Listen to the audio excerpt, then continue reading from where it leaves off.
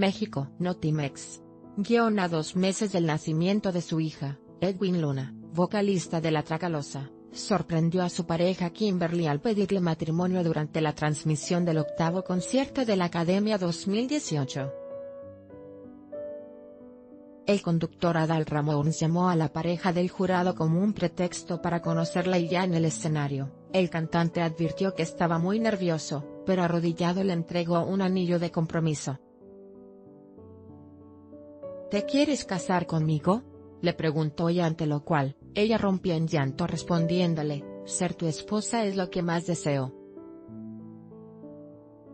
Desde las gradas, el público celebró el hecho. Este domingo, en la Academia 2018, se vivió una noche de sentimientos a flor de piel, pues la salida de Marian, como la sexta expulsada del proyecto, ha sido hasta ahora la más dolorosa para los académicos.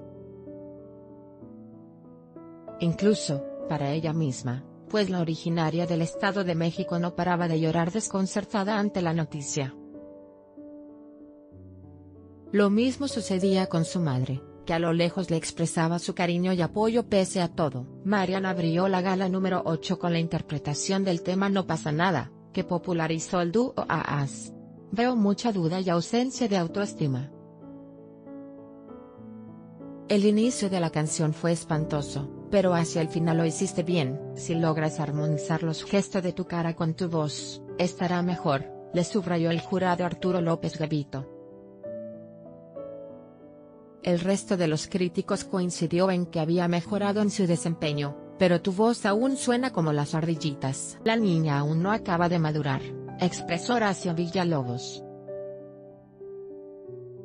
Para este concierto, los alumnos eligieron por primera vez el tema que deseaban interpretar y Catherine, originaria de Honduras, optó por Pero me acuerdo de ti en homenaje a su abuelo que falleció esta semana. El resto de los participantes también entregó la canción Recuérdame luego de que el pasado 28 de agosto se festejó el Día del Abuelo. Aunque Fernando fue ovacionado del pie por los espectadores en el foro de la Academia 2018, el jurado no quedó tan convencido con su trabajo. En opinión de Idis Márquez, cantó desafinado y le faltó el aire, mientras que Arturo López Gavito consideró que había hecho un plagio de la manera de cantar de José José y que lo había visto mejor en otras noches. Cabe destacar que la hija del llamado príncipe de la canción, Marisol Sosa, se encontraba en el foro y deseó buena suerte al académico. Uno de los puntos a destacar en el concierto 8, fue el pleito entre Idis Márquez y el director de la Academia 2018. Este último pedía a los jueces que fueran más abiertos y entendieran que los jóvenes están estudiando.